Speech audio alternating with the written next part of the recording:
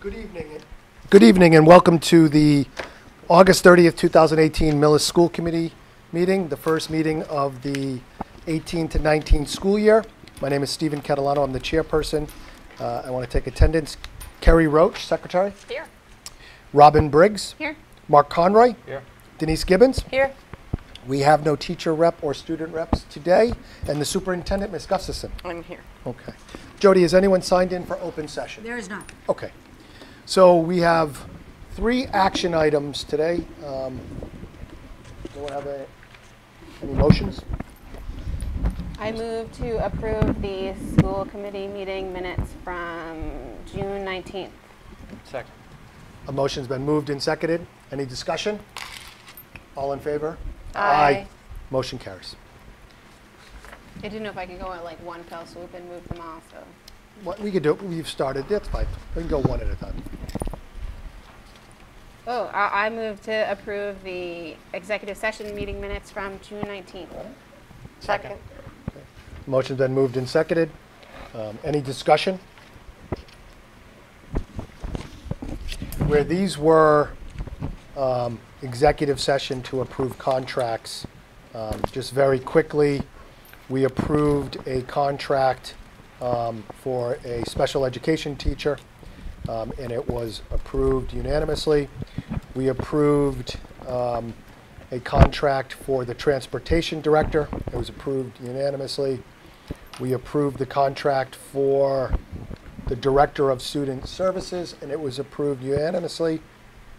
And then lastly, we approved a contract, nope, I'm sorry. The only last item uh, in executive session was to dispose of or donate up to 200 pieces of older broken furniture, and the motion carried unanimously. So that was, the that's what we carried. So there's been a motion, it's been seconded. We know what it was about. All in favor? Aye. Okay, it carries. And then the last item is the calendar for the 2019-2020 um, calendar school year. I, I propose before we approve it, we can, actually, why don't we do it during discussion? A motion, please? Mr. Chair, Yes, Ms. Gibbons. uh, I make a motion to approve the 2019-2020 school calendar as presented. Second, a second? Second. Okay, motion's been moved and seconded. Before we vote, um, Madam Superintendent, could you kind of give us an overview? Uh, This was a, kind of a hot topic item at the end of the school, and we did a survey. Yes, thank you. Um, So in your packets, you have a memo uh, about the survey results. Uh, There were 701 responses to the survey uh, regarding whether or not uh, people were in favor of moving to one vacation in March compare, uh, versus a February, keeping February and April vacations. The responses were 40.7%, indicating they were in favor of a combined March vacation of one week, and 59.3% in favor of keeping the two weeks of vacation in February and April. Uh, we then, knowing that, uh, I discussed with the Millis Teachers Association and the administrative team, and rather um, than having a late, as late a start as we had originally been discussing, we are proposing instead that we have just two professional development days for teachers in August before Labor Day. And then students would start after Labor Day on September 3rd, which gives us an end date of June 17th with no snow days or uh, weather or cancellation days. And uh, if we were to use all five days, it would be June 24th. So, uh, by way of background, um, the, the reason for, or why we were in question of not starting before Labor Day, which we, although we've started after Labor Day in the past, depending on when it falls, is because of the new construction of the Clyde Brown uh, School.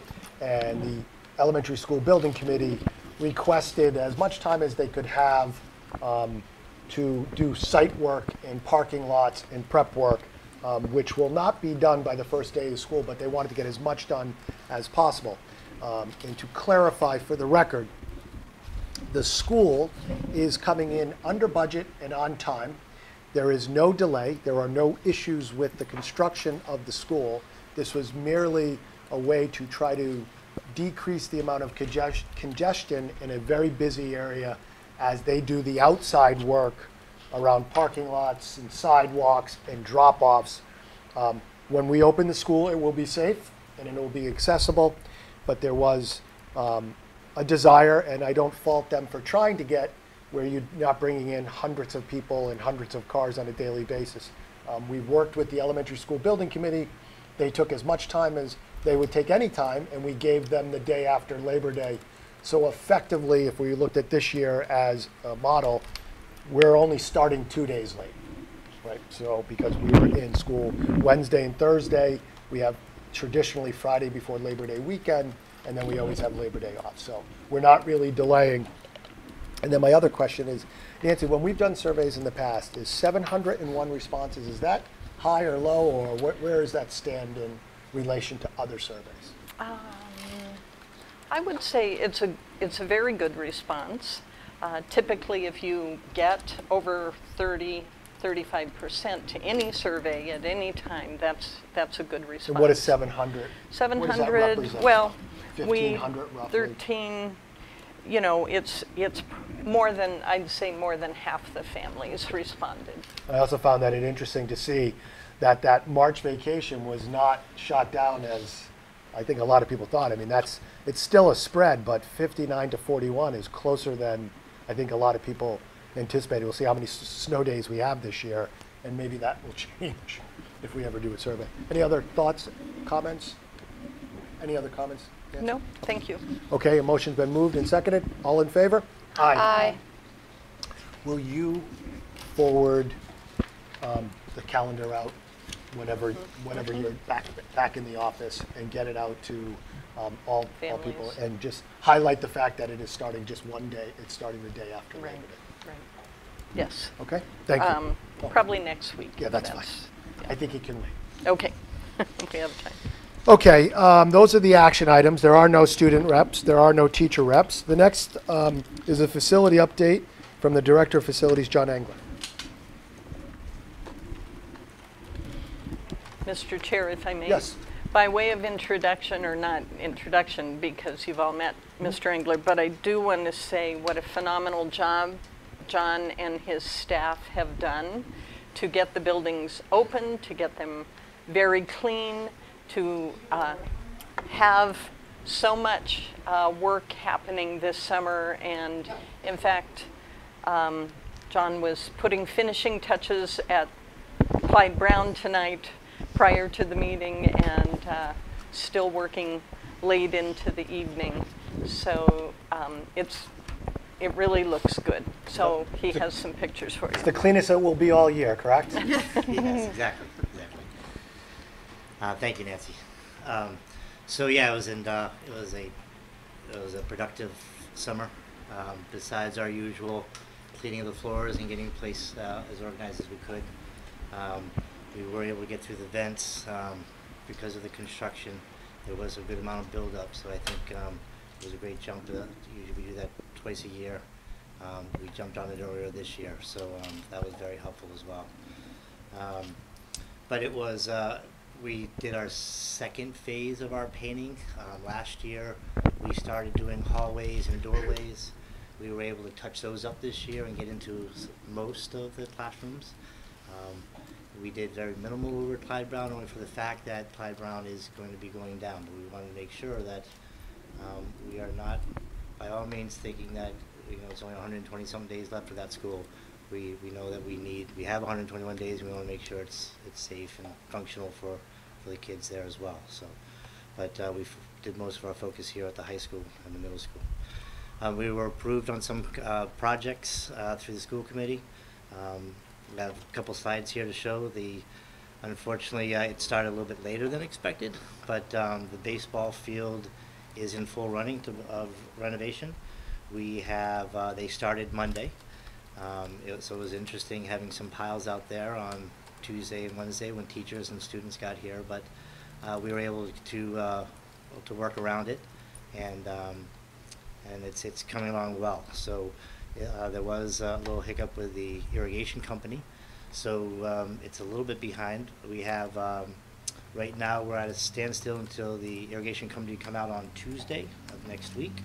They will be putting the irrigation into the infield, going out to the outfield, and then coming that following Saturday, they will uh, the sod will be in place and the field should be ready um, and fully installed hopefully before the middle of that following week. So um, we'll have it blocked off, and hopefully people will stay off it, especially during football games. When I hear, I guess a lot of kids go out there during football games, but we're going to do our best to block that off to salvage that as much as we can.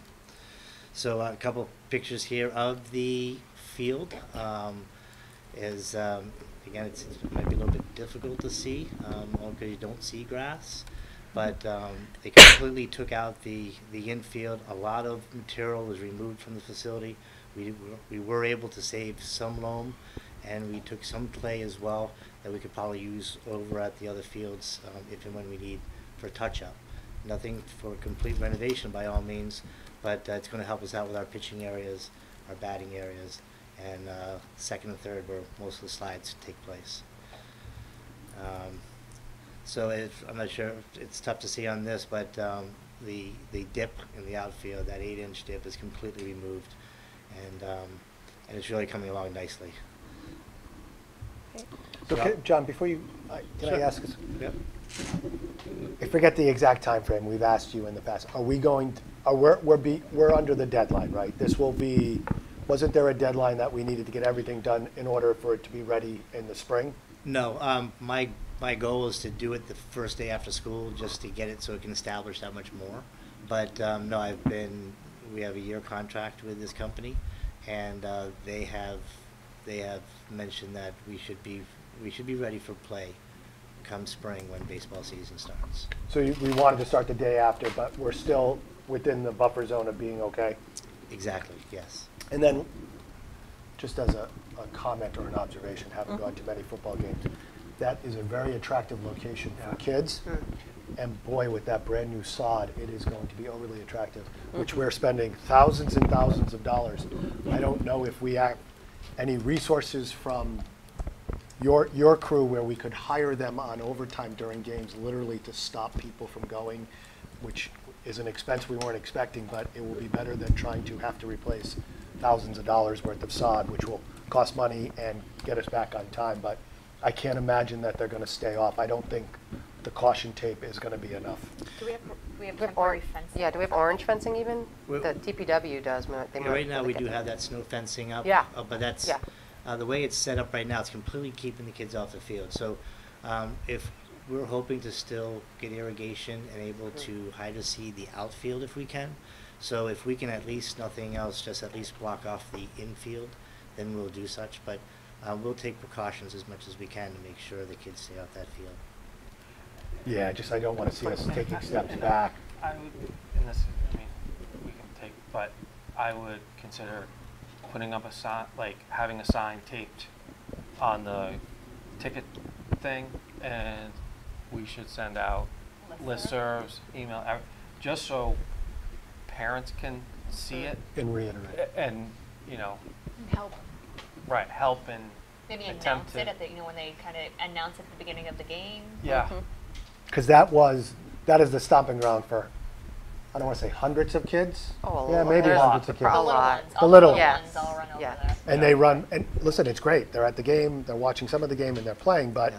that's not good for us now. No, exactly. Just, I'm just concerned about that, like everyone else. if we have the capabilities of letting them play sort of out in the outfield, then, then we will. Um, but uh, Right. again, the, the, the the big thing is to say to salvage the infield, the new sod, Sure. and 16 feet coming off the infield as well. So, Thank you, thank you, I'm sorry. continue. Um, another um, another uh, source of in, uh, another source of you guys uh, let- let us purchase some um, other items. Uh, we purchased some rugs throughout the facility, um, mostly to try to catch all the dirt as much as we can at the doorways, um, so they're not carried throughout the classrooms.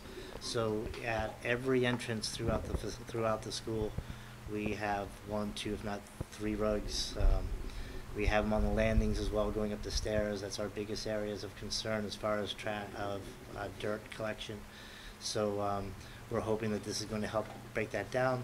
Um, I've heard from other people aesthetically that we're adding some color to the facility, and it's making the place look a little bit nicer as well. So um, it's, it definitely has been an enhancement, and uh, this will also help with our newly done floor at the gymnasium, where we'll have rugs that will now take you all the way to the doorways, as well as slightly in the doorways on uh, during the winter months when you have the snow and the ice and the salt. Um, I think we have a couple pictures of those. Uh, When you have to kind of turn your side That's fine. to. so- And then this is our next one, which, uh, I'm not- not Yeah. quite sure how to turn this one, but this is another thing that we've installed this year. We've installed two water filter, filler station, filter stations. So this is where children uh, or staff and, and, and, and the, the kids are able to use water bottles and fill up water bottles. It's been, it's been a very big hit, um, throughout, uh, throughout the school. Um, it's uh, filtered, um, it's cool, it's, it's cold. The, um, there's a little display on there that tells you how many water bottles you are keeping out of landfill. And after the first day, we were at hundred and one, and after today, we were over six hundred water That's bottles great. at both places. So it's worked out really well. Um, the water bottle sales and the concession department and the cafeteria has gone down a little bit, okay. but um, at the the same point, it's it's it's a green initiative and it's uh, it's working out really well. Where are these installed? Is there one upstairs and one downstairs? Yeah, there's where there was two. There's one in the seventh and eighth wing, and then there's one in the cafeteria. And we, there is discussion whether we should continue putting them in. They were a little bit more difficult to put in than originally anticipated. That's why we ended up one in the cafeteria. We're hoping to put one by the gymnasium, but once we looked into a little bit more and the and the how the pipes were cemented through the, the pipes were cemented through the through the cinder block, it was a lot more difficult, so we had to move it elsewhere. But we Where are you've- looking for other areas. Where you've put those up, does the water, how does the water get in the bottle? So you just put, it's, it's a. uh, I'm making a joke that you have, Yeah. sorry. Oh, sorry. So- If you have to explain that you're making a joke, clearly it's not funny. I apologize, John. Continue. Okay. Um, Thank you. Looks- But uh, we also were able to refinish, last year we we refinished the flooring at the, uh, for the basketball. The, the arts and music department was wondering, what about them? So we were able to refinish the floor on the stage, which has not been done in a very long time as well. It was peeling and, and uh, becoming an eyesore more than anything else. So if anything, the dance company is very pleased with, with how this turned out as well as I am. It came out very nice. We still had some leftover money from the, uh, from last year's, um, renovation of the court, and we ran out of time last year, so what we did do is we put like a four-foot bo- border going around the outside of the basketball court to enhance a little bit more, as well as we were able to put the word Millis in the back, in the end corners, it's really looking sharp and, and, and it's, Yeah. it's a nice touch, and I'm glad we are able to finish it off this year. We did get approved for, to renovate all the bathrooms at the school. And now all the bathrooms have new flooring at this point. Um, the next step is to get, um, our petitions done. Once the petitions are done, then we, hopefully if we have some money left over, we're gonna start looking into the fixtures, maybe waterless urinals, better sinks, and, um, um, and enhance it more that way if, if, It's just a showing of a couple of the bathrooms, but it was all, it was, um, six total, six total bathrooms that were re- redone. We also, um, we also tried to enhance the parking situation here at the school. Um, it was, it's been, especially after last year, we had an enormous amount of, uh, I think the senior class was one of the largest that we've had in a while. Parking was very difficult. Um, by adding an extra nine to ten feet of asphalt on the inside perimeter of the, the driveway going around the bus, around the bus loop going towards the exit. We were able to then create more spaces by putting diagonal, um, parking spots in there. I think that we were able to enhance our parking of between 18 to 22 extra spaces, which, um, which helps out. It could even be more because when people were parallel parking with the grass, they were just pulling in and then there were bigger gaps in between cars because people wouldn't back in, they just wanted to get into class. So this also gives the students and the staff a chance of getting out of their car on pavement instead of the past when they were just getting off in the muck or the mud or the snow. So this will, uh, this helps them out as well. And we were able to do it along that area as well as we are able to do it along the football field. So, um, we finished off that little arc area that had, for some reason, there was, there was an arc area there that we filled in, able to utilize it for more parking, as well as, as you go down towards the press box, you can see where we continue the parallel parking, but now people have direction on where to park, and hopefully they'll stay within the lines. Hopefully not park on both sides. But we still have, so we have delineators on our right-hand side. Um, when we have cut back our brush, we kind of made it on the tree, on that line, so hopefully they'll realize, "Eh, maybe I'm too far out in the parking lot. Um, at this specific area, there is a telephone pole right across from this car, and, um, and then you still have that ditch that kind of dips down a little bit, so, um, hopefully during football games and stuff, we'll have police and monitoring it, and, and we'll continue to put our delineators out there saying no parking. I think that's it for the slideshow. Looks like you're busy. It was a productive summer, summer. yeah. It was, but there's still more to get done and, and hopefully it'll get done before, before too long. So John, this is your second summer here, correct? This was my second summer, yes, right. So still, still, you got another couple to go before you really have the feel for it. But what do you need? What, what's missing besides projects? I'm talking, what about missing from resources, staffing? What, after your second summer, the first one you're just learning? What, what's, ju- is there anything jumping out as what you need in order to do all of what you do? And uh, obviously, this is just a part of what you do. These are some special, special projects, but the cleaning, the scrubbing, what else do you need? Well, I, I, th- I think our machinery is starting to get to its, its, um, ex- life expectancy. We have a, a John Deere that's nineteen years old that we just put a couple grand in it just to make sure that it's, it's running and, and operable for us. The landscaping deer, is that what you said? Yeah, we use that for various things, but it's our, it's our big plowing for our sidewalks during the winter as well. But, um, besides machinery, you know, again, there's a lot of work that needs to be done outside. Uh, my groundsman will tell me that he could use everything and anything. We do have a lot of old stuff here. So, um, still trying to go through that and trying to find out what's best for the, the bang for our buck to begin with and uh, see what we can do. And um, but as far as floor machines, again, with that other machine, with that other school going down, trying to figure out what we're getting at the new Clyde Brown, a lot of that stuff can probably come over to this school. So we can have a, a second floor washer on the second floor, and we can utilize things like that. So um, I'm, I'm still dragging my feet on buying toys, Sure. so to speak, but um, um, I'm hoping to, uh, um, pretty soon we'll be purchasing some vacuums, only because now we're gonna need some of the backpack vacuums to help us with the stairways and to help us out with that, and that's, again, that's, that's only gonna be an enhancement as well. so. So part of, so part of what we're doing later on tonight is the first conversation of a couple, few, is identifying capital needs for, not just for this year, but going forward, they're looking, the town with the new capital planning committee is looking for a ten-year lookout, which is somewhat difficult to do, right? But I think you uh, should work with the, the superintendent a- a- and the business manager, and even though you're reluctant to necessarily purchase them now, but at least start, to- let's start to list them out with useful life, so we can, because the town is looking for a ten-year lookout. And some of them may come up sooner, but we should identify all of them, even all of the things, because I don't know how long some of those things last. Maybe they last more than ten years, but who knows, they may all cycle out during this time frame that they're looking at.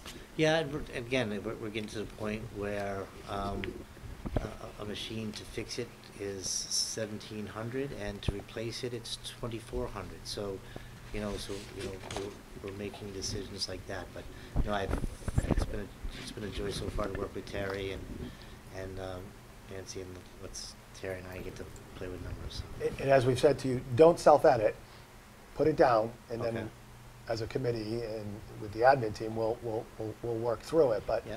we don't, self-edit It's not helpful. We need to really, especially where we're looking out ten years. Okay, great. Yeah, because we might come to you and say, oh, we've got this extra money. Quick, we need you to buy something. And then you'll be like, ah. I'm sure you're gonna be, able. I'm sure you could, you have some little things here and there, but Yeah, without a doubt. But um, um, I, I think we're, I think we're rolling pretty well at the moment. And I think what Terry's about to present later on, um, I, I feel pretty confident that that uh, unless if something again, unless if something comes up that Sure. we're unaware of. Mr. Chair, I Yes, just Ms. had Roy. one question. Do we have an update on the auditorium? The replacement of the chairs? and- Yep, so, um, that was, when I first started looking to it, when it was, when it was approved, it was a fifteen to sixteen week lead time. So, um, and that's from the point of decision-making. Um, So, I talked to, talked to Nancy and the administrative staff, mentioned to them that we definitely won't have it done during the summer.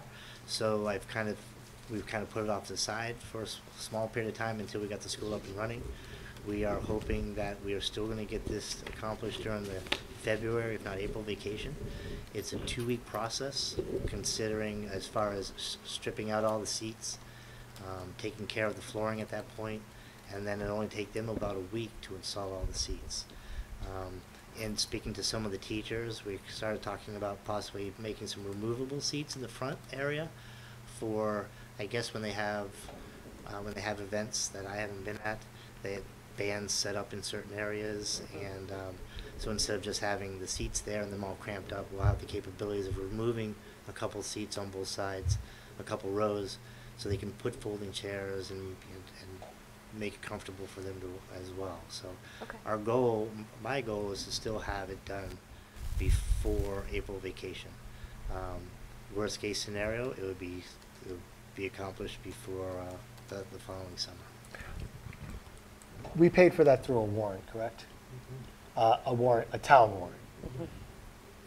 I think we should make every effort to get it done before spring town meeting, the meeting that approved it. Meaning, I understand scheduling and stuff, but I think it would be helpful for people packing the room to come into where we, where, where they purchased it in May or allocated it in May. Mhm. It would be nice to try to get it done within that first, that, the same fiscal year that they allocated the money. Do you know what date that is? It's usually the first Monday, It's Very beginning of May. It's the Second first Monday. Mon, no, it's the second Monday. The first Monday's election, it's usually the second Monday in May. Of May? Yeah, and I get that there's people in this building and there's groups at night and on the weekends. I understand that, but it would be nice for the town who allocated this money to be able to sit in chairs. At least phasing it if that's, if at all Should possible. be May thirteenth. May thirteenth? Um, I, I by rule, I don't guarantee anything, but I will, I will do my best to make sure that's done by then. I get that, okay? Ms. Gibbons, anything? Mr. Conroy? I'm good. Nancy, we good? Yep, thank you. Thanks. We all set? Thank you. Thanks, John. Thank you. Put the lights back up, just right there. Um, I might fall asleep. Oh, the, the, the lights are on, nice. The next, uh, the, we, we want to move on to the Claire. superintendent's report. Not keeping you up. Yes, first of all, thank you to school committee very much for the flowers that are in each office. That is much appreciated and brightens it up, and the staff um, has mentioned that. We had um, two days this week of professional development for staff that went very well on standards-based learning and assessment and uh, improving uh, teaching for high achievement. And then students were in the building the last couple of days, and in spite of the challenge of heat, everything went quite well. Students didn't seem to um, be have any flagging energy. They're, they were still excited to be back. They were on task. They were, um, I think, maybe people my age feel it a little bit more than they do. Um, but I also want to thank the fire department for loaning us some of their fans. We have as um, many fans throughout the building as possible. John and his staff worked very hard to move some of the big fans around. In fact, today, the hallway was quite nice and cool upstairs in the middle school. The middle school was our main concern because, of course, the heat and especially on the sunny side. But we also moved students. We um, made, um, had lots of measures in place to keep them hydrated. The new water filling stations helped, and they also, the athletic team, um, big Gatorade jugs were in the hallways, and kids were just great, and teachers were phenomenal.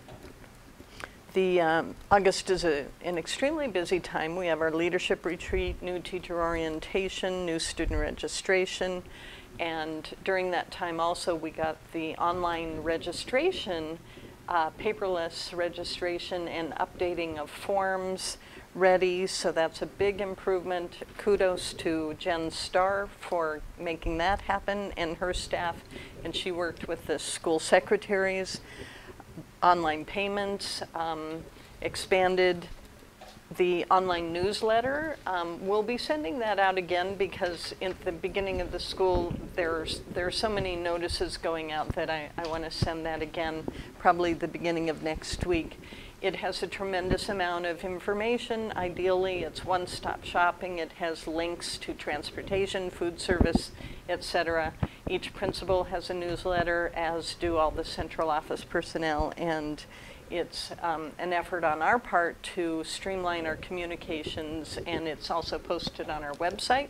We're still improving our website um, so that it's a little more intuitive.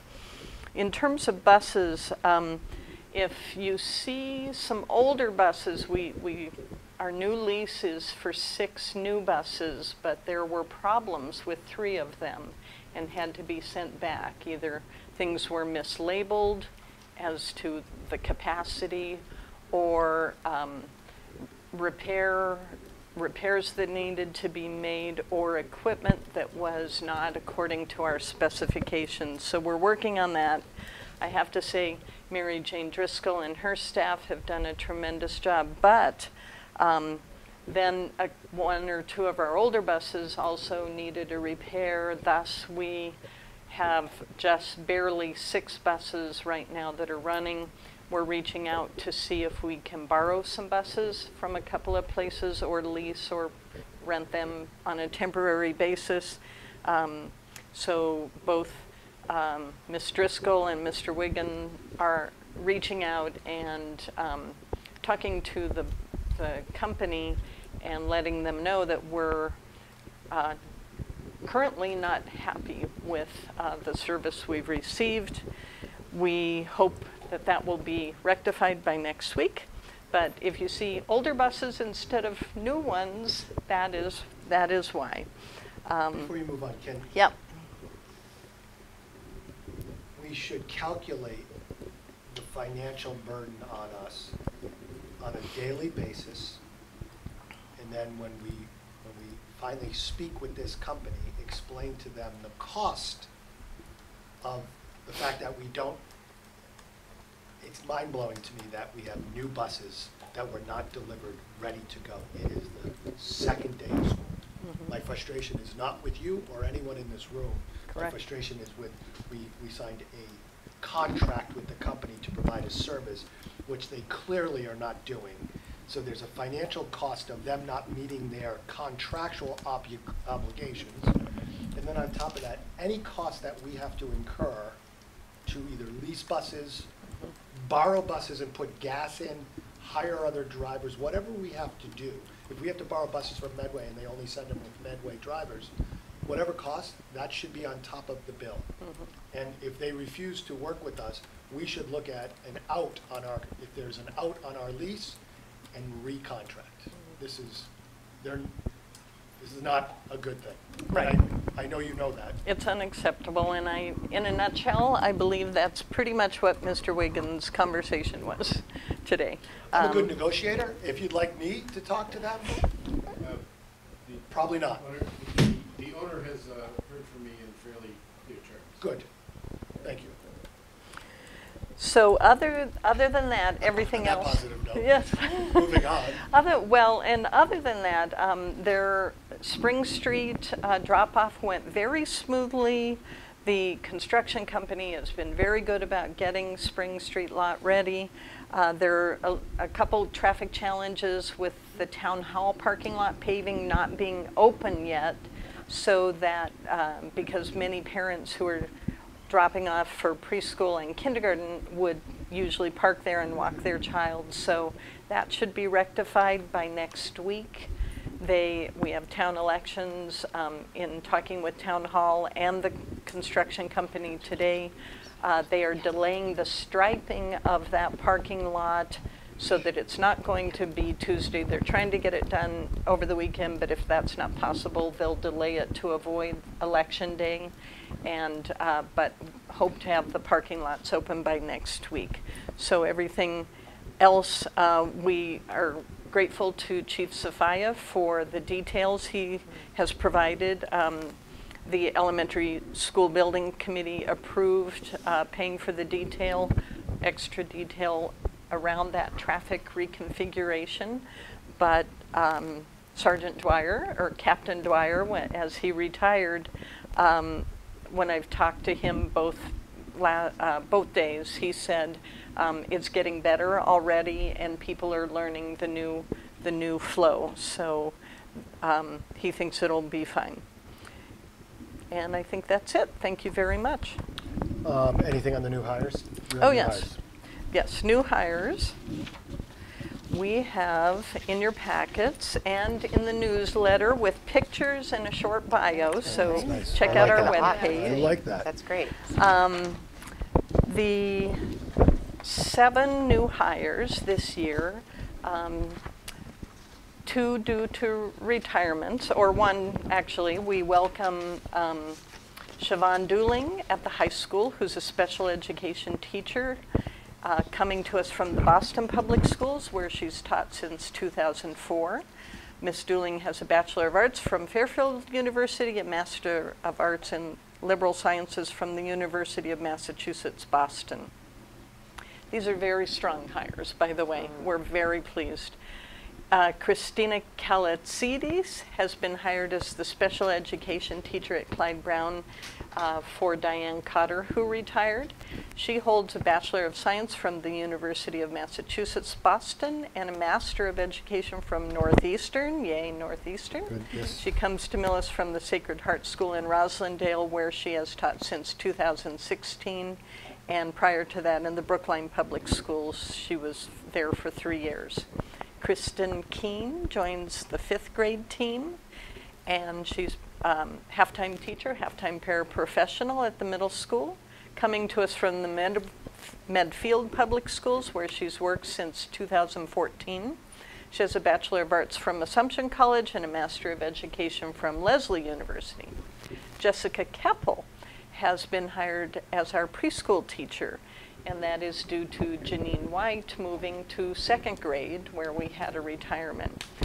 She is also a par, um, half-time paraprofessional. She comes to us from the Sudbury Public Schools, where she's worked since 2018, holds a Bachelor of Science from Springfield College and a Master of Social Work from the University of Massachusetts, Boston.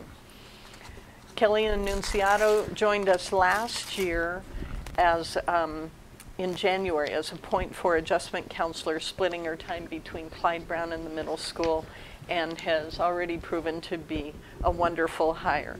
She, prior to this, worked extensively in the private sector and also in the Somerville public school system, bachelor's degree and a master's degree from Bridgewater State University in education and then mental health counseling. Kelsey Cole, who had been a paraprofessional with us for several years um, since 2014, is now a special education teacher, point five, and a paraprofessional. Um, she got her Bachelor of Arts degree from Assumption College and is in the process of receiving her Master's of Education from Bridgewater State. And finally, Jennifer Letton has been hired as a, our board certified behavior analyst for the district, uh, coming to us from the Accept Collaborative with a Master of Education from Lesley University. And beyond that, um, it's not a master's, it's a like a CAGS um, education specialist from Bay Path University um, as a BCBA. So welcome. Well-qualified, highly educated people with experience. Those Yeah. are all good hires. Very good hires. Um, So next is the chairman's report. First thing is uh, the Board of Director meetings for the Education Collaborative. Ms. Gibbons, are you still interested in? You don't have to. I have some flexibility on Fridays. I'm not teaching these Fridays, so I can make these meetings. Um, In the spring, I'd be teaching, but we can, we can probably talk about someone else. But I don't, I know you liked going there, but if your schedule does not permit and you'd like me to attend, I can, I have zero problem with that. Um, Mr. Chair, thank Yes. you. As much as I would love to go, unfortunately, I think th- the time, it's challenging for me to be able to get there. I understand that. Um, So I would Sure. graciously accept your offer if you're willing to be able to attend. And actually, I, I, I see a couple of the dates in the spring are gonna be easy, so there's probably Okay. only, I'm looking at two probably that are only a problem, so. Okay. I will work with other members. You've, Okay. you've done a Thank you. good job and did a really, brought some good stuff back from tech, so thank you for your service on that. Thank you. Um, and then next is the capital plan and warrants. Is there anything, does the CHIPS approval, do we need to do any action on that? Um, No, the correspondence is just the letter we received from CHIPS, which stands for the Collaborative for High Performance Schools in terms of energy efficiency, saying that we have, um, the Clyde Brown project has successfully completed the design review, review phase of the process, and um, it, uh, it's a significant milestone that demonstrates that the project has undergone a rigorous review during the design phase to indicate compliance with New England CHIPS 3.0 criteria for high-performance school rating. And they, we will continue. There is um, a- one more step, and the architects and uh, construction team, project management are shepherding us through this process. Okay, thank you. So we're going to move on to um, the capital plan. I, I won't say where I work and whether I had access to a color printer, but I do. On my favorite size paper ever, 11 by 17. Robin, does this bother you that I'm giving you paper? No, Sorry. no. Oh, this is Oh, and you wonderful. copies for us? Is that for me? Wow. That's Is one there and one one? for Carrie? Killed lots of trees. One. Yeah, I know. What? Is there really giving these to us? Uh, And is there- There's one. do you- Yeah, for- I know, do you- it's good. Jody, you don't, you ha, you don't need that. I think we should probably use these for Okay. working copies because it's. Right, I Oh, changed the colors on the ones that Terry said, just because the green and the blue were very dark and the purple and maroon hard to read, so there's in your packet, you can, I believe the information. like- Oh, did you print in color, Jody? Did print it in colors in your I'm sorry, I should have told you that I was doing this. I, Can you, um, Oh. Jody, give one to Terry and John? I wasn't gonna be able to see this. Thank you. I, I believe I have one. I appreciate the big print. So do I. I don't have to, I'm, That's- it's so Eleven by nice. seventeen is the best size paper ever. So before we begin, as these guys are um, logging on, I'm here. this is the first discussion, there's, t- there's a couple things going on. One, this is a, hold on, I'm just getting my paperwork out. This is a a capital, a capital planning project. There's a capital planning project committee, right? And that is to look at the 10-year plan. Ms. Roach represents us on that newly formed committee. And I know there was a meeting the other night. We were in a meeting with the Board of Selectmen, Mr. McCaffrey, and he had to go to that meeting. So that's running separate to, at this point, the normal warrant process. And Robin, for your edification, a lot of the capital projects and funny things, they come out of the fall town, they go into the fall town meeting. Okay. And so, um, that's, that, this is the time frame. although little by little, they've been upping the time frame to, you know, July to get fall town meeting warrants. Um, So we will, we will present to them when we're ready to present to them. So what we're going to get tonight is the admin team and the superintendent's recommendations with priorities. Those are their priorities. At the end of this discussion, if we choose, if we feel comfortable moving any warrants forward, we will, we will we'll have a discussion around what our priorities are. We'll take into consideration the ranking from the administrators. We can have discussions, answer any questions. So this is just the start of the conversation that we as a committee is not beholden to any of the priorities put forth on this document, but we will clearly, we have people here that pro- provided this. And the other pieces, and there was a late email, this is all facility. Yes. As we, as we proceed with the capital planning committee, we have to take those other buckets of technology, transportation, curriculum. I don't want to put just forward a facility plan. Now, I also know that we've done a lot of work with the administration and on this committee to really kind of identify and hammer home some replacement plans and some planning around transportation and technology. So I think the, the work on that, there's some work to be done. I don't, I don't think it's as heavy of a lift as probably this was.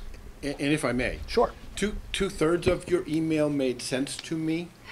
One, That's a, one-third confused me. okay. Okay? Okay, let's do Well, this. no, no. All right. Be- it- But it begs a broader question and, and one that I actually broached a little bit in my, em- in my, uh, ni- my I was cover reading that memo. while I was driving, which is illegal. So, so technology, clearly a capital im- uh, improvement plan issue. Uh, Vehicles, clearly a capital improvement plan issue. Curriculum kind of ties into the issue I raised in my memo, like painting. Curriculum is, is operational, but it's also a very significant uh, expense. And so the issue comes down to, it's sort of this, one of these, it's a big expense when you do a curriculum replacement. But it really, if you looked at the definition under GASB 34 and a fixed asset policy, which nobody has in Millis right now, or any number of other things, it doesn't really fit the definition of a fixed asset. Yet, we have limited funding. We have limited funding internally in Millis. We have limited funding from the states, one of the weaknesses of the state funding formula. So, one of the things that we as a school district and the Millis Capital Improvement Planning Committee kind of need to help us, we need to kind of work together to define is what's going to be a capital improvement plan project. So is curriculum going to be something that they're willing to define as a capital improvement plan project? Is painting, you know, big painting project, obviously, not doing a room, going to be a capital improvement plan project? If it is, great. It's something we need to work into this. So before, Mr. Conroy, he, here's what I will say, and I'm not ignoring the fact that we're, we're looking at, we don't spend enough money and we don't have a plan for curriculum. Mm-hmm. We have, when we have some money here, we grab it when we have some money. Mm-hmm. We've done some of this with technology, so it's, we're not doing an adequate enough job mm-hmm. of securing funding. Whether that should be in our operating budget, whether that should be in capital, I, I understand your, your question of whether it's a capital fix, whatever, we as a committee and we as a team have to do a better job at identifying our plan, identifying funding sources. And mm-hmm. so I don't necessarily want to put it in this hole here just because, but we, we, gotta put it we have funded it as, as warrant articles. Right. Capital. So that's where some of my thought process is. So I, I understand your point. I, I don't want to get lost in the technicality. I want it- mm-hmm. the bigger fine. pullback. Mr. Conrad. I can add a little bit of Millis context to Okay. it, because you're right, and that's the, the, different piece of what's, what has been considered capital, or how these things got onto being warrant articles as opposed to in the budget. Um, It, a broader definition of something that would last longer than a few years, so three to five years right now, because things got over time, not just in the school, but out of operating budgets. Right now, free cash funds the town's warrant every year. Free cash funds computer leases, the bus leases. Free cash is the source of this. Mm-hmm. And back well before my time, there were decisions that curriculum, things couldn't fit in the school budget anymore. And it was, they, there was a decision and just procedure that carried forward that something like curriculum, town meeting and, and therefore the finance committee and the town could ensure that the sixty thousand down to two thousand, whatever was available, if they wanted it to go to curriculum, it went to curriculum. It wasn't sitting in a budget for then a following year. Well, we didn't really buy that curriculum. We put it in the budget. We have a line item for curriculum, but we spent it on headcount or something else. So mm-hmm. there are, there are a lot of things that are, one, because of lack of funding, two, because as a town, we haven't taken the step to put some of this, put recurring money behind some of this that allows it to go into the operating budget. And some of it is just that Yeah. piece. And, and curriculum is one of those things that's all, I mean, fifteen years ago, when we started talking about GASB thirty-four, curriculum is one of those things that was very hard, because a typical fixed asset policy that was developed back then, you know, basically set a dollar value, usually something high like ten thousand dollars, and, because it always had a two-fold test, and something that had at least a year's useful life. Well, curriculum can be over ten thousand dollars. The question is because much of what makes up curriculum is consumable, does it really have over a year's useful life? Well, in one sense it does, because you're not gonna dump the curriculum after a year. But in another sense it doesn't, because the materials themselves, much of it may be consumable. And that's where curriculum became one of these gray areas. So, I don't wanna belabor the point, because I know you wanna discuss the, No, but I. I, and, and I don't, I don't want to ignore or just kind of dismiss what you're saying. yeah, I just want to pull back and say, we, as a committee, need to do a better job of securing consistent, adequate mm-hmm. funding for curriculum. Absolutely. And it, it doesn't feel right mm-hmm. doing it on a, at the end of the year when When you- we've saved a if, little if, money. if, if you have money, right. if we have money. Right. Now, listen, that's not to say that we haven't purchased curriculum. That doesn't mean that we haven't got warrant articles. But it shouldn't be a hit, mi- hit or miss No, thing. it should be a planned item. And I don't know what that number is each year, but we gotta just, we gotta figure that out, and we're probably playing catch-up, number. and then start to figure out where that funding source comes from. Agreed, agreed. Okay, go ahead, I'm sorry. Okay, nope, uh, so again, you are right, what is before you is, is largely facilities. There is no, and so, let's start there, and then lem- maybe we need to come back and visit, you know, those, those other three items. So what was number one on the administration's list? Uh, and you'll see there's kind of a safety and security theme here, uh, for our top priorities. Uh, really came down to be the phone and intercom system in this building.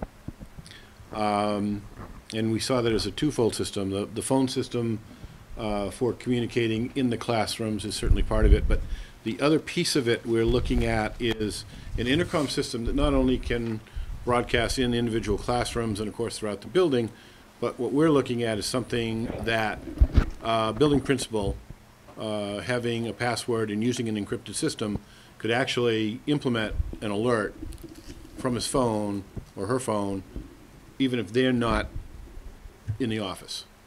So they're here in the library and something is happening, they can actually implement an alert and a lockdown or, or whatever is needed. So that was our, our, the, the administrative team's number one, uh, and, uh, selection. Number two was a security vestibule out here at the main entrance.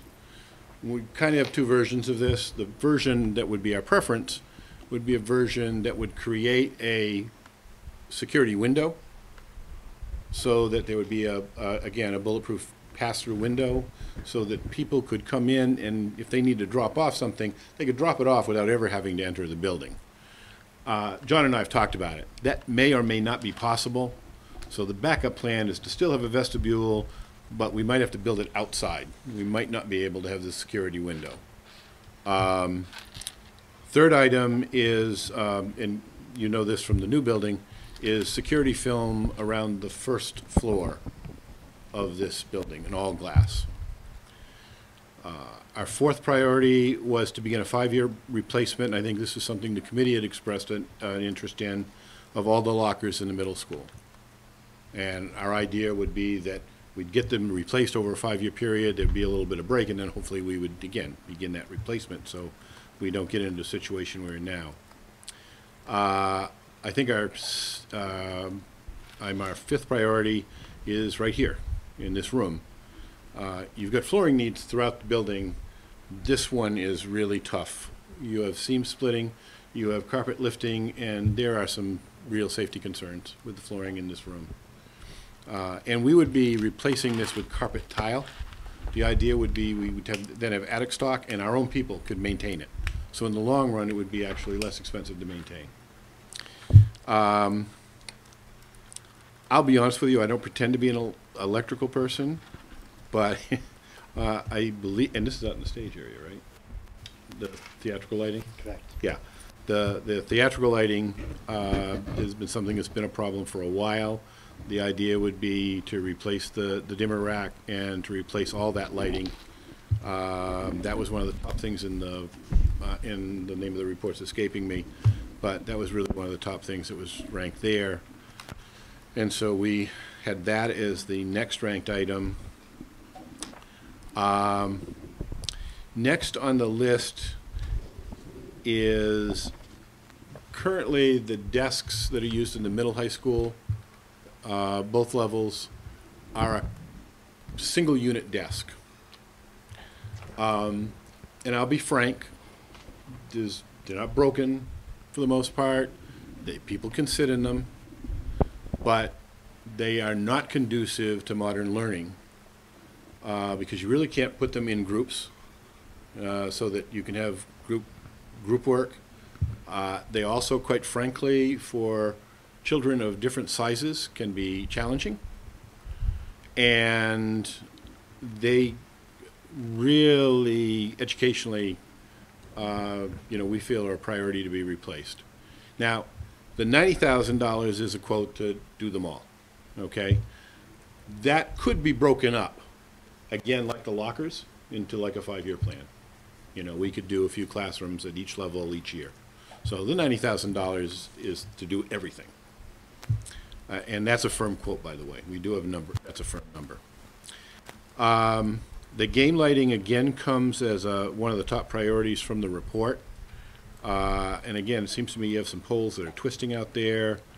Uh, I would also say parenthetically, and I don't know if it said this in the report, but uh, my guess is that not only do you, you get the glare control and some other things, I'm assuming that you're also going to get, obviously, the advantage of LED lighting and some other things that, that take place there.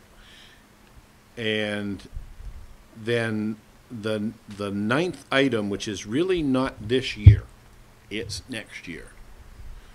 But you have something called the annex, which was kind of funny, because when John and Nancy and I were talking about it, I didn't know it existed.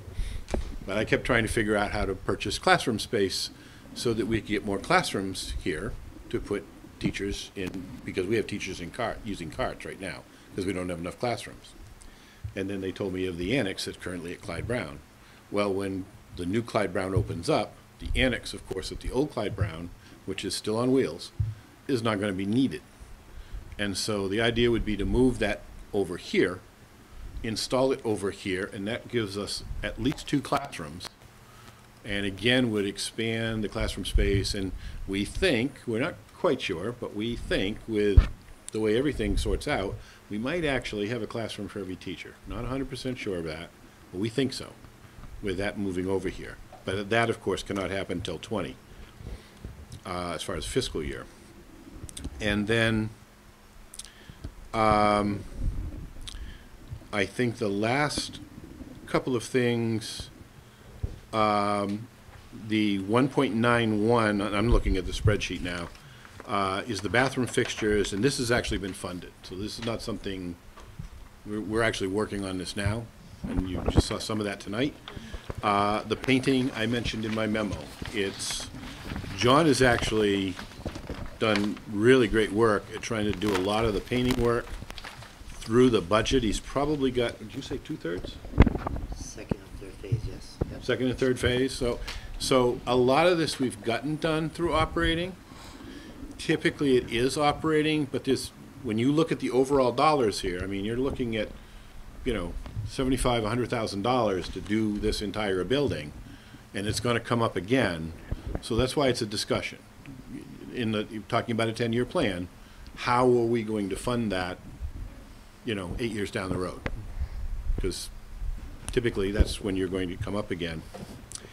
And I think though, uh, what was the last one? Oh, the last item that's a number one, okay, but you'll see it in purple on the spreadsheet, and you won't see an individual sheet on it, is a hydrant replacement. And that's really the first one that you'll see that I've coded as saying, that's something that just ought to re- be removed from CIP one of the things I did when I went through this list, and we're still kind of refining the list and tweaking the list a little bit, is if it's under five thousand dollars, we probably ought to be figuring out ways to work that into our operating budget.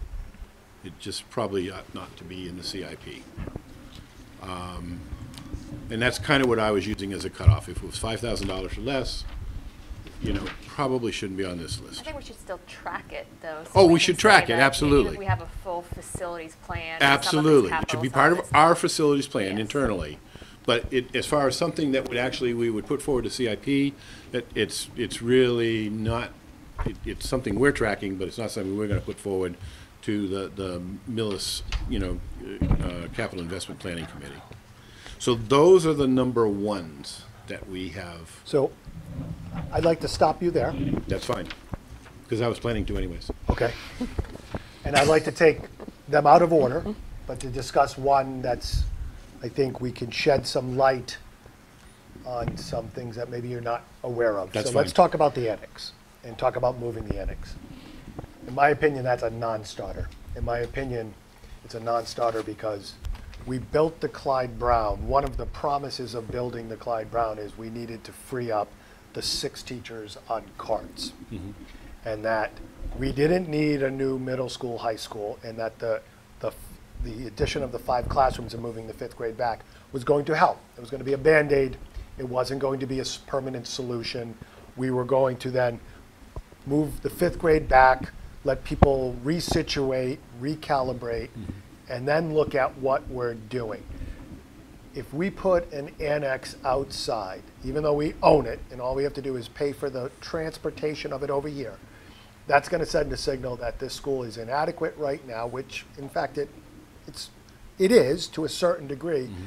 That's going to scare the taxpayers. They're going to say they, they, they sold us a bill of goods that is not accurate, and they're going to be coming for a new building in two years, when in fact, we said at the outset, it looked like a 10 to 12 year horizon unless there was something significant that went on. I, my opinion, I'd have a hard time supporting moving forward, putting the annex over here.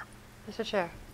Yes. Um, I actually see it a little bit differently in that I feel as if we would be leveraging an asset as a district that we have to be able to bring over here that we don't need anymore at the Clyde Brown. I understand. Um, and still in keeping with all of the things that we've said with the new Clyde Brown project, that fifth grade's moving back, we're freeing up all these spaces. In addition, we're bringing over the annex to allow us some even more additional space that we weren't sure what we were going to do with the annex. So um, I view it a little bit differently and think that it might be a viable option for us to get more space than we had planned on originally. Um, there, there might be a story there for us, uh, a true story, um, for us to be able to tell the taxpayers, which is it's an asset of the districts that we want to be able to reuse up here. So, Mr. Chair, I, Yes. I don't disagree with you. I think we have to be really careful about the messaging, just because of what Steve talked about and just the perception of us moving something over here for more, for additional class space. It, the perception is, or it does perceive that we're, we have inadequate s- space here and that we're, we're looking for options. So where I, understand that we're, you know, it's an owned asset and it might not cost a lot to move it over, I think we just have to be careful of the messaging because it could, it, it's, it's a hot topic in this town and it's going to stir up, I think, a lot of discussion. Uh, and we just need to be, if, if we decide to do this, we need a clear message. We need to get out there. We need to get out in front of it and make sure that we're in control of that message. So it's not, oh, here we go. Like Steve said, they, they still, they sold us this thing. We, they got us to vote for this school and now we're looking for space. Yeah, and, and so I totally agree with you on the messaging part of it. I, I actually see it as a really big benefit in that we're trying to use everything that we have to be able to get as much out of this facility as we possibly can. And we've told you, like, we committed to, based on where we were three years ago when we made those statements, 10 to 12 years out. And is something that helps us get there. So I, I feel comfortable that there's a strong message to I- be able to, I don't want to teachers that. on carts, right? I mean, that Oh, I was the biggest. I know. Yeah. Other than the roof and all of that, still, Yeah. that was, Yeah. it's ridiculous that teachers are on carts. And I don't want to do something that prevents two teachers from getting off of carts. yeah, But I, we were very careful in the messaging and we were very careful in putting our word out there. And I'm not saying that this automatically disqualifies it. So maybe my words of it's a non-starter, maybe I came out strong, but I also understand how careful we were in, because they were saying they're coming for a middle school, high school. That's the new building. And I, I know people could say what they want, mm. but there is, we, we could be bringing more pressure on us and more scrutiny and more, they're going to start scrutinizing everything by doing it. May- Maybe not. Yeah. Maybe I'm, maybe I'm overestimating a reaction. yeah. I still see it differently in that, sorry, sorry. In that we're, we are in keeping with our word in that we're trying to keep Sure. that out that far. And as part of that plan, we're, bull- we're pulling the annex up here and we're getting additional space. So I, I, I, No, I- I feel like, um, my own opinion, um, is that I think it could be a big benefit. I feel like we could control the messaging on it fairly comfortably. Um, we, we were, we were all involved in that initial messaging part. I don't think there was anything that we said at the outset that bringing that annex up here puts that puts us at risk about. Um, because we said we're going to bring the we're going to bring the fifth grade back. We're going to free up those classrooms. Okay. In addition to freeing up those classrooms, we're also taking the annex. Yeah. the annex is going to give us a couple of spots because you know what? We're going to we're going to squeeze as much room out of this facility as we possibly can. This gives us a little bit more. And we have, That's a good point. we have also, I think messaging, I think the other piece is we evaluate what we do with that Yes. after. Yes. First step is get the fifth grade over. And maybe it's not twenty twenty that we, well, at some point, we're gonna have to have a discussion Mhm. about what we do with the annex. After we've flushed the fifth grade, back over there, understand actually It's a great term. After we, and, but then, as we've said, we needed to understand what was going on in this building, figure out what, if anything, we needed to do. We've said, and even through this whole process, when the question of a brand-new high school, it was never a brand-new high school. It was an We addition. needed additional, we needed, we needed, uh, some type of an addition to address classrooms and potentially a cafeteria. Were the two major space needs that we had that, eh, but that we weren't going, we weren't gonna look at doing anything, at least for a couple of years, Hmm. until we understood what this building felt. Now, the annex coming over is also a lot easier than going and asking for an addition on the building. So it might buy us even a few more years, if that really ties down to, okay, this really solves all of our but the other piece, the only last thing I want to say, I also, it also becomes a question of where that annex goes, mm-hmm. because It's limited space. there is not a lot of space Right. here, and as we just saw pictures, we just, summer was just spent adding parking spots.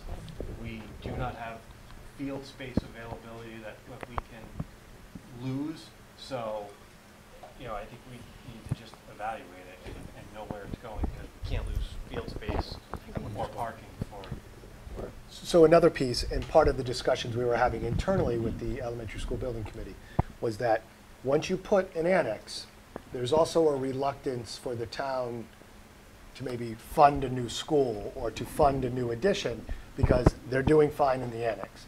And I don't know how old those annexes are. I don't know how long, they've been around for a long time. Um, supposedly, um, I- I'm just, new here, I believe it's about twelve years. 12 years. Oh, what's the useful life on those? Um, twenty, possibly 20, 25. It'll be interesting to see when we move them on a flatbed, how- how they're, or how they're gonna look. Correct, and I- s- So I just, let me, I'm sorry, let me just finish my point. The point is, my concern is about messaging, not about useful space. So I, I, I want to just do what's right for the teachers. I want to do what's right for the district as well, because, not that we should be making decisions based on how people are going to react, but there will be, there'll be overwhelmingly positive reaction that we're doing the right thing and overwhelmingly negative, and it's, what's the right thing? And I just, what Tim Bonfardi was talking about was, you run the risk, once you start putting up annexes, that you may, you may push, quench people's, do you remember those conversations? Mm-hmm, mm-hmm. That there's a question of whether people, now, we're not even close to it, because we haven't done anything with this project, but they may say, you've had that annex, you're fine, you got another eight years on that, come see us when that thing crashes and burns, so, I'm sorry, I'm enough. Um, so I just have a couple of things. Um, new here also. So just in hearing that, I'm thinking as a um, resident, that's a great idea because now we have this extra space. So I thought that was a good idea. The second thought I had was, hmm, where the heck's that going to go? So, like you said, we need to figure out where it's going to go. And the third thing that I was going to say is slipping my brain. Sorry, I I do have one, I do Yeah. have one while you're thinking. Yeah, go I- ahead. I guess, so we're talking about what we're gonna put forward on, a- on the warrant article. This, this wouldn't be, so this is not for a year off, so we don't have to make any decisions on this. Right. We would just take, leave this as a priority maybe next year and just, you know, we can just say, hey, we're gonna talk about this, we'll leave it on there. There's obviously some more discussion to be had, but When do we really have don't to move need it? Uh, Exactly. It- Excuse me. Um, In a meeting today, um, Wayne Taco had mentioned that we have a smaller window than anticipated because two weeks after the last day of school, that building starts getting ripped down. Now, Granted, they're going to start closest to the building and working their way out. But So there is a timeline. there's a very quick timeline that I have yet to talk to Terry and and Nancy about since ten o'clock this morning. So um, it's a lot quicker than anticipated. So is that, so one more question, is that cost that we have in here, and I don't, s- I can't. Sixty find- thousand. Is that the cost to move it and to hook, it, or what's the cost, like, is there a cost that we can Move- put it to the move side it- somewhere? Move and install. So that's moving it and installing it. So would Springtown meeting be sufficient, though, timing-wise for, for this? It seems, because then the check can get cut July 1 or, Yeah. The way Wade, the way Wayne was explaining it and Jeff, it was pretty much, yes, you need to get approval probably in the, in that time frame, and, um, but we need to get numbers now, and we need to make decisions now. It was also brought up by Diane Jordan about maybe the DPW possibly using this as well. So, so there's, everyone needs to, we need to figure out what's gonna cost to move this thing, and if we have a place to put it. Um, if you wanna store it for a period of time before you actually place it, or whether we finally say, okay, this is what we wanna go with, and this is what's gonna cost. So I, I, I think we need to come back with you with some better numbers, and as soon as possible with that. So just, again, just to, if we do put this on the warrant, it does have to be voted on by town meeting, so we run the risk of it not being approved? Yes. Yes. I We think do. we probably have until Unless we May's have town. 60 I- and I- grant. I don't think, That, that was my thought. That, that, when I said twenty, that, Yeah. my thought was this was a, a Maytown meeting issue. so we don't have to worry about it for this town meeting. But I think as part of our January, February, March, Right. we need to So we can harden this number a little bit. And, and also, you know, figure out what would a store, you know, what would storage mean? What, you know, I- personally, I'm not prepared to volunteer this space to DPW or Mm. other town department until we decide we don't. But it does have a bathroom, so our bus drivers could actually use the bathroom. Are we good with that now? They're letting us yeah, use the bathroom? Thank the you. current plans have a, a very nice office with a bathroom space. And we, and they, Accessible to our bath, our folks as a separate entrance. that is Yep. excellent. It is excellent, and we appreciate it. So I'm not ready to give right of first refusal to anybody until we get that. But I also think, Mark, you made the point of, I don't want to spend money to store it somewhere just to store it. Mm-hmm. But that, that is, we should, look at costs for that, because I'm not ready to give it away by any means. But maybe get them into the building, do a year, see how things go. Because it's not, I'm sure the first year is going to look different than the second year, regardless of an annex or not, right? So who knows how things shake out? And so I, I- I think there's a, there's a way to find it. And if we're also doing this in Maytown meeting, it gives us some time to work on the messaging and concerns that I have. It's, my concerns were not space for teachers. My concern hmm. was Yeah. That whole argument in that, that we contained and controlled Yeah. meticulously, that Yes. we run the risk of, I still feel like we are in line with that messaging. I'm Even supportive that. of being in line with that message. So my third thought that I forgot was in terms of that messaging, we could potentially make it like a maker space or some fun or a lab or something that's like on top of what we have at the school. So we have classroom space, but now we're gaining this by using the annex over here and having some new initiative in this space to kind of But we bring still have to free up a classroom. I don't know if we, I don't know if you, know if if there's dominoes you could move around. It would, it would coincide with the engineering program, the new programming that, you know, so definitely it would have a teacher in it all day long, and depending on how the space is configured, um, absolutely, there could be the engineering course and some materials area. So it could be um, like a for benefit. like, Storage. now we have this because of When, that. when was the last time uh, an enrollment study was done? I'm sorry, what? When was the last time an enrollment study was done? When we we- did for the we- MSBA. No, uh, MSBA did a thorough one, For- and we have yearly ones Yeah. done by Okay. NESDEC. So, all right. And we fought them on their numbers as Yeah. houses go up. I can say one more. John, could, there- there's there's a fan. Could you speak up? Sure. I can I'm, I'm, so- I'm sorry. I really That's can't all hear you. Um, being the newcomer as well. So hearing back and how Lois and the people saying, we just bought this thing a year ago, two years ago. It was a ten-year thing. It was, it was a ten-year lease for three hundred thousand or three hundred fifty thousand dollars. And now we're just gonna crush it. So that's the main reason behind this, to reutilize this thing, because that money that they did put in, it worked out well for these ten or twelve years, but at the same point, we're just not throwing it out to the. That's the main push behind this. It- It was more than 12 years. I think it was 15 because we paid off our lease. It, it, Peter Sanquioni was superintendent, and Kathy Tosi, and the- it was during, Paid off quick. it was like, It was actually. I- I'm not 12 looking So to even like throw it away. Just, it was hey, listen, if we off got to the point where we're not paid going off to use ahead of it, schedule, yes. we're going to give it to the town or we're going to find someone else. We're not just crushing this in a dumpster. So I, your point's taken. We though. need to find a place for it. I think Yep. that's a priority.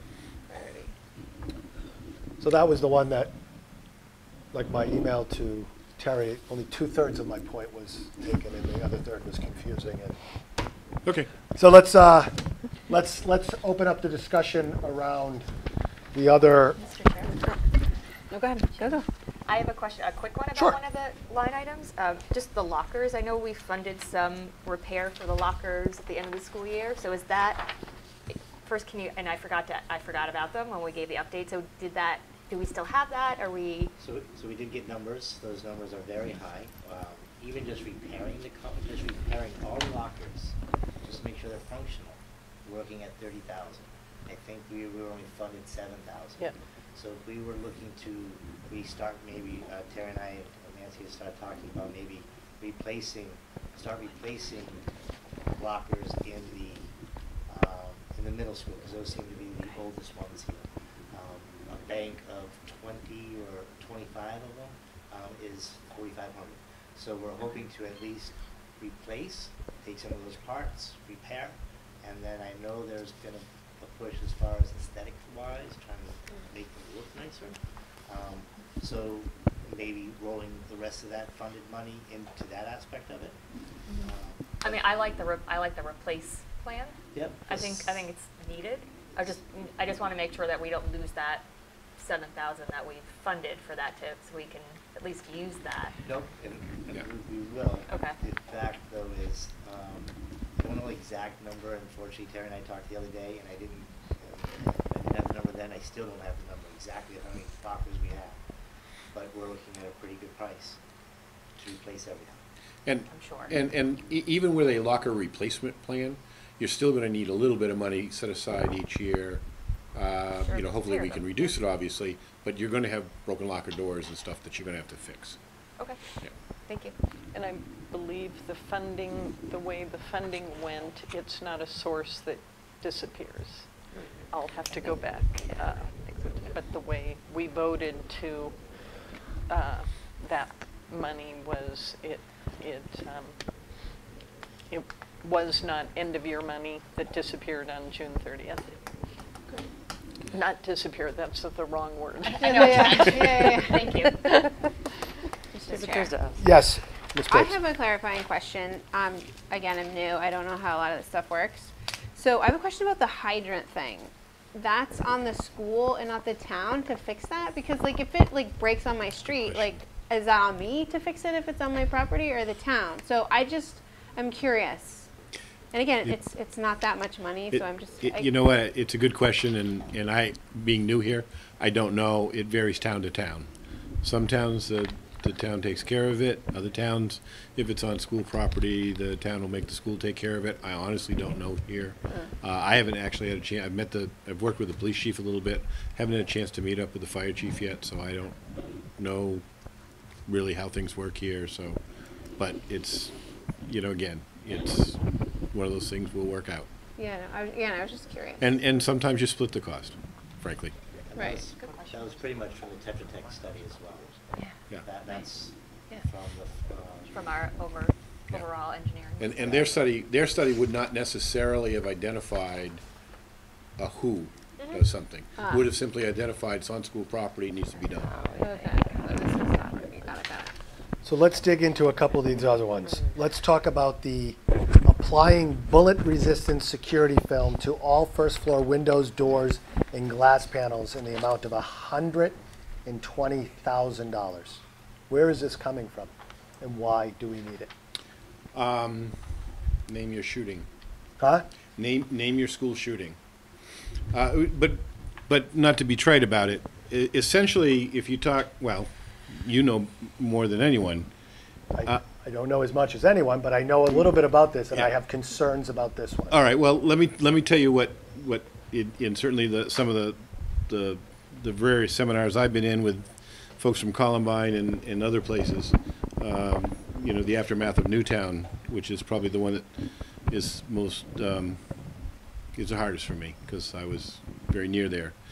Um, is that the police officers that, that I have talked with after those events and and the the instruction I, I guess that I've been given over the years is that and, and I, I guess the vernacular now is hardening the schools is that if you can keep a perpetrator out for 90 seconds that basically the police can get there and they can get there and protect your school and one of the things that helps to do that is the security film and or if you're building new sometimes you just absolutely you outright get the bullet resistant glass um, the film is an option that I used first in Washington D.C. with the United Methodist Church building.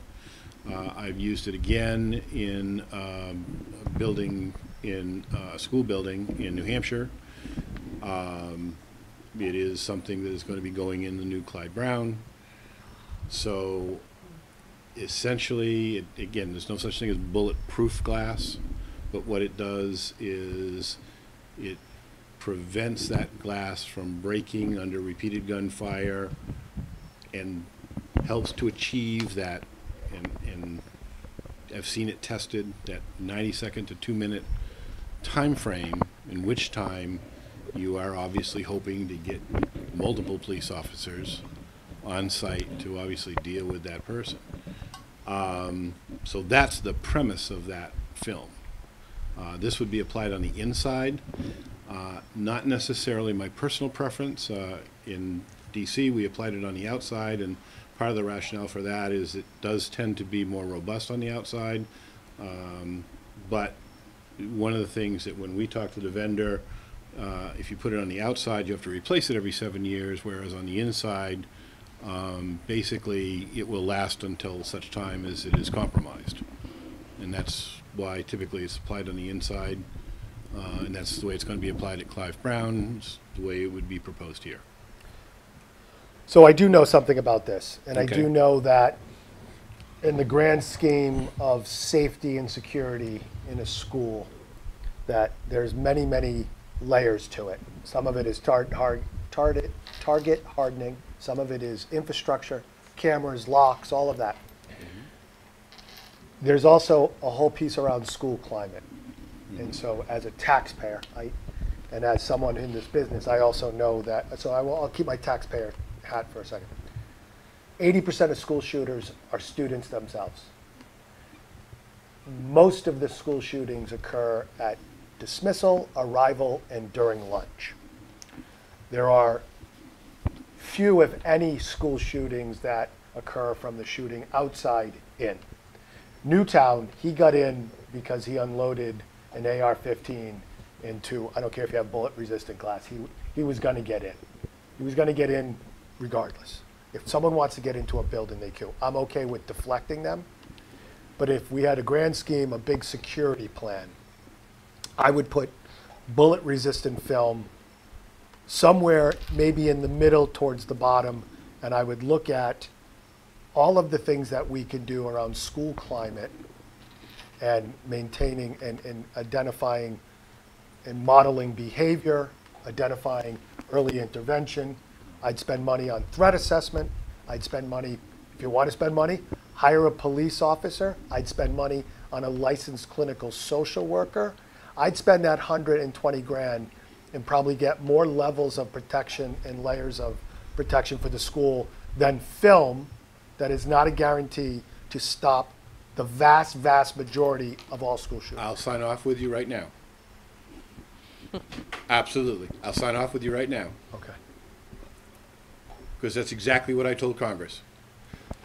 I told, I told Congress to increase SROs to a level of uh, one for every 500 students. And I told them that these threats don't start when a student is 19.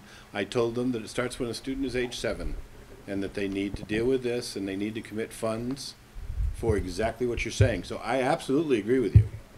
So, but, So, so if there's a way to redirect this in that way, I'm, I'm with you. so there's a, there's a concept, not to belabor this point. No. There's a concept of left of bang and right of bang, right? Right of bang is run, hide, fight, run, Chris Soffayer and his team coming in to try to neutralize the shooter. And that's great that they can get here in 90 seconds to two minutes. But guess what? Someone's already been shot, someone's mm-hmm. already been killed. I don't want to be right of bang. I want to mm-hmm. be left of bang. That's mm-hmm. what we were talking about in the safety committee. I never want to ever have to test the bullet resistant glass. I don't want to live in a. I'm not naive. I don't want to live in a world that violence doesn't occur. I know it and I've seen it. So what are we going to do if we're talking about limited resources? How can we spend our limited resources in a way, for the lack of a better term, that gives us bigger bang for our buck? Like what, what can we do? I'm not saying that 120 if we had unlimited resources or we were making progress on other things, that we wouldn't do it. Talking about it in a new construction, you can absorb that cost. It's mm-hmm. easier to eat that cost as part of a $50 million project opposed to taking 120 grand out of a small pot of money in free cash and do and doing something that personally I think is limited at best. I don't fault you for putting it down. I don't fault you for throwing it out there. But I could spend that 120 through the safety committee and through Chris Soffayer, and i'd get social workers, I'd get the threat team up and running. I And I would, I would hire another SRO and put them there, and even an SRO is, is somewhat limited at best. There was Exactly. Parkland, there was an SRO. I- Columbine, there was an SRO that exchanged gunfire with them as they went into the building. Yeah. So I, I don't want to lecture here, No, but n- no, no, but I agree with everything you've just said. next do. point then. We'll move on. So uh, that's, that's, that's my feeling. Denise, do you want to disagree with me like you did on the last one? Not one bit. Nope, Mr. absolutely Catalano, I not. do have a question, Sure. Mr. Catalano, Mr. Chair. Mr. Catalano. Stephen? Um, So as you talk about, you know, the left of bang, call it, do we, and I know there's a safety committee, are we working on a plan to get us there? And We're trying. We're trying. It's, Okay. it's, it's labor intensive. There is some cost associated, but there was discussions, robust discussions around creating and staffing and stepping up, standing up a threat assessment team, which I think from, as a professional and as a resident, I'd love to see my money being spent. That's my taxpayer. I'd love to see my money being spent on that because we can, we can clean up a lot of little things before we ever get to the big thing. So I know that's not technically capital, but if we have costs associated and we're talking about a capital plan to the town, so we're transparent and we can show them what our costs are, I mean, is it something that we may, I- and again, I know it's not capital, but somehow get it out to the town that this is something that we're working on and this is what it's gonna cost? I know, maybe it's another tab to our plan, or maybe it's, Or, or, or it's through our new business manager, maybe we identify things in our operating budget that can be moved over to capital, freeing up that money in, and it's not, it's not an overwhelming cost. It's time and training. Mm-hmm. There's ongoing costs, but once you get up and running, yeah. it's, So and quite honestly, it's not much plan. different. There's a lot of it going on right now, but it's really for- formalizing it and structuring it. Right, and then maybe it's just another tab that just has a safety, you- that we outline the costs of the safety plan, so at least when we're looking at overall money, if we have money somewhere, we can say, hey, what's, you know, what are we trying to fund on, you know, as far as the, the I- safety plan or the threat, ass- I don't know, I don't I know. would I'm put school security- The terminology. I'd put either school security, building sec- security slash school climate, right? Because Yeah. that's what, school I climate is the term. important to add, because then if, you know, we are looking at warrant articles, or we are looking at asking the town for something, if you have something there, maybe we put it forward as an overall safety plan that we need help funding to get mm-hmm. going. I think, I think there would be, I can't speak for the voters, but I think there would be supportive. I think so too. trying to be proactive, trying to mm-hmm. prevent, right? Yes. A Yep. rapid response is great, but that's, there's been bloodshed, and we don't want, we never want that. I agree. Mr. I, I, Chair. I'm sorry if I came on strong on your. No, I agree. Mr. Chairman, Yes. I agree with you. I wrote it, I'll show you the letter that I wrote in I have no doubt. months ago to Congress, to the many congressmen and senators that I know. So I'm absolutely in agreement with you. The- The one thing that, putting this on here, it sparked a conversation that we really haven't had here. We've mm-hmm. talked about it kind of here and there. It's, it was helpful. And Mr. Chair, just so for the viewing public, I think um, it's um, interesting to note that when I arrived here in Millis, we had one school adjustment counselor shared by the middle, middle high school. This committee uh, brought that extra FTE in and last year added um, well, it's a reconfiguration, but it has the same effect of focusing on social emotional learning. We have a social emotional learning action plan now, and um, the more personnel than we had on this, and we agree 100%, and the safety committee um, meets several times a year to, with the chiefs and with Mr. Catalano and the administrative team to talk about all these issues. And we all agree that prevention and school climate are, are, um, again, the best, the best approach. We work a lot on school climate with our advisories and everything, and having kids always have an adult that they can talk to. And, and on the other hand, we, we know there are some other things like maybe the vestibule that might be, um, you know, worth pursuing at some point.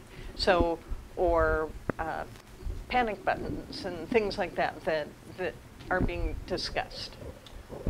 So I, I would say, does anyone else have any comment on the bullet? So, um, my sister-in-law was telling me that they live in Burlington, and I guess Burlington just completely redid their safety and security at the high school, and I, I, I forget all the fantastic things that it did, but it was something that whatever alarm was pulled, ShotSpotter.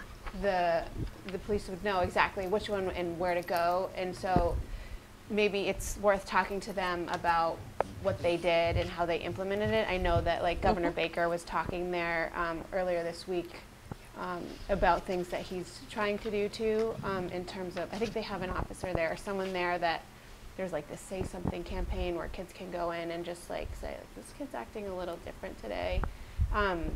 So I think it's worth exploring what other schools are doing that's working, mm-hmm. um, as well as some of the things that you very well know, Steve, from And 33% of all school shootings, one or more person knew some aspect of the, of the attack. And they just, uh, oftentimes they had no place to go. I think things are changing a little bit on that, but that's, people know. It's from social media mm-hmm. posts, it's from messaging, it's from cryptic notes, it's from language, so there are things to say. I, I just know that she said it's like working really well in their town, and so it, it might just be worth looking into what they're doing. Thank you. So the one thing I would say is I like the phone and intercom system. I Yeah. think, I think communication is incredibly important, especially, forget about a shooter, forget about, say there's a medical emergency in a classroom, right? Mm-hmm. And the teacher's not in a position, or sends a student, a runner to go get someone, and the student doesn't necessarily carry the right message, right? Undersells it, mm-hmm. oversells it, who knows? I, I think a state-of-the-art system that allows texting and messaging and password, whatever it is, and the fact that an administrator doesn't have to try to make his way back to the front office to send a message. I think that, I think that is important. It's, that's a big price tag, but I think an effective communication tool is, it, ha- it, it, it- it has its benefits. I agree. I just, more pro- just to clarify, when do we have to send out the articles? We're trying to work on that. We're trying to figure, I think they wanted them in August. Like early August. So if I could, if, you mind if I give my, kind of, my opinion on the number ones? Sure. As we, so I agree with you, I think the intercom, I'd be comfortable putting that up now. I think one, one, two, and one, three, I think are more, I would defer to safety school, or state, safety schools committee to come Mhm. back and say yes or no, or whatever, larger plan. I think the one four could probably be more of a spring thing to put twenty thousand, or if we could find recurring funds. Probably not gonna do that work during the school year anyway. I would support putting the, the rug for in here and the electrical, so one five and one six. I think the furniture, we could, I would defer till spring and see what our budget looks like for next year. I think the polls are necessary, but there's no realistic way that that's uh, funded at a warrant article in November town meeting. It's probably That's a bonding. That's, a- right, that's a larger, truly to the capital planning Mm, committee to mm. roll into some large bond fund. Um, and then the next couple were already, oh, so the annex we talked about, we'll figure that out for the spring. We've already funded one nine one. I think the next, the next two, that when we work, we can continue to just kind of work and look at that, again, that we work on next summer predominantly. And then the fire hydrant, I don't think that's a warrant article, I think we can figure Just out, fi- let's one, it. if it's us or them, and then Right. we'll just find it. Five grand. Yeah. Five So- grand at the very beginning of the year, I think. So three, so three items to put forward. What did you, Mark, just, I'm sorry, I was not taking. So if we go to rank, it's one dot one, one dot five, and 1.6. So one, one dot one, one dot five, one dot six? Mm-hmm. So you, is that your rank right there, one, two, three? Or you uh, want to just say, those are your three? I would just put, send all three. I- Okay. I would. Why don't we do this in some semblance of order? Yeah. Denise?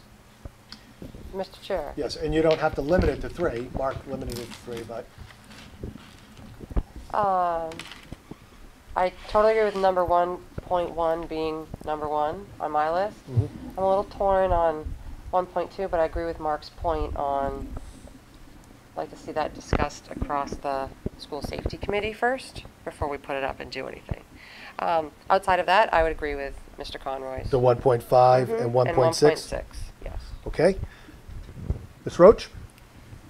So I, I agree. The only thing I would add, you know, I have a thing for the lockers. Um, if we could get some of them done during, there's winter break, there's February break. I'd love to see some movement on that. So I don't know, you know, maybe we put it forward, maybe it gets voted on, maybe it goes through, maybe it doesn't. But I, I really am behind the locker replacement. So, so you want, you want 1.1, you want lockers, 1.4, So I think I'm adding, I think I'm asking, or requesting to add a so the fourth. same three and then add lockers? Yes. Okay, Ms. Briggs? Um, I I agree with what you said, Mark. I I, I- I want to add the I want to add the desks as a teacher. Like, come on! I want the kids to be able to like have their 21st century learning going on. So I don't know if you can add like a couple of desks, but All I right, so mean, I think that safety is important. I, I agree um, with the, all the safety ones. The lockers, fine, Carrie, you know that. Um, and the other stuff can wait. I, but I mean, I can see people saying like, okay, like this is for the kids. Like I can see people being on board for safety, and I can see people being on board Sure. for like direct needs for students. But I So- for 1.7. Okay. Some part of it. So I'm a 1.1, I'm a 1.5, and I'm a 1.6. So that, across the board, those got all five votes. I, too, everyone just limited themselves to either three or four votes. I, I, I like the locker idea in the middle, in the, in the desk chair. A- And maybe, maybe, maybe the desk chair, we, I know it's a, you put the 90 in there, is, can you piecemeal it? Oh, yeah. Oh, yeah. Yeah, that's what he said. You did say Yeah, that? he said it. Yeah, We could do the twenty, we could do twenty thousand and eighteen thousand, which would be the ninety divided by five. Yeah. Do it. I like that, right? So that's where it's not all safety. Mm. It's the safety and it's the, it's the lockers and it's the, the desk and it's lighting, right? So it's, not that we have to look at spreading it all around, but it is, there's a benefit to the, mm. to the town for the lights, right? They've, s- so far, they've been supportive of the auditorium and getting those new chairs in.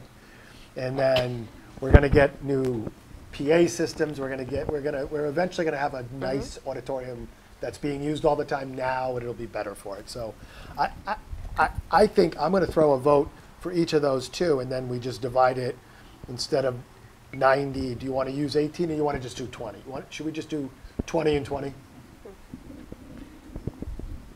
So, as a committee,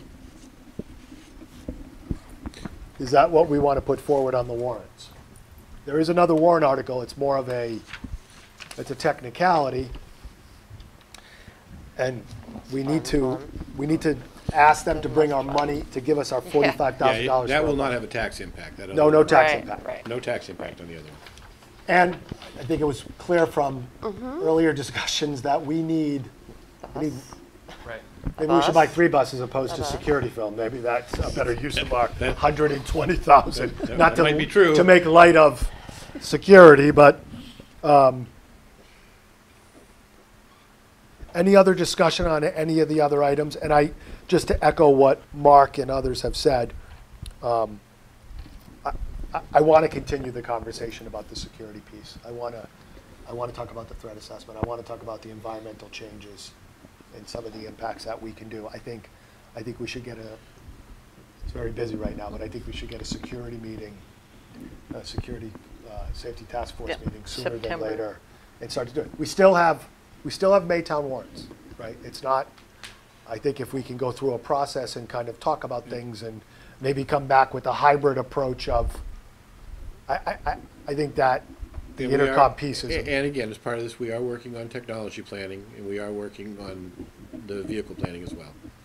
So, So that's, that begs the question, is there, is there anything right now that's coming out of your discussions with Jen Starr and, is it Driscoll, what's her first name? Mary Jane. Mary Jane. Yep.